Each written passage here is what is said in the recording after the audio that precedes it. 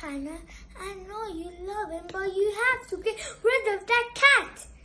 I know you keep telling me, but Fiona, I rescued him. No, you did not. That's a feral cat. If I have ever seen one, he constantly runs away from you, scratches up everything you own, and attacks your face if you get too close. Trust me, you'll both be happier if you let him back into the wild.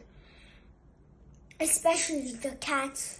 He's not meant, that thing is not meant to be indoors or near people. Trust me, I'm doing you a solid here.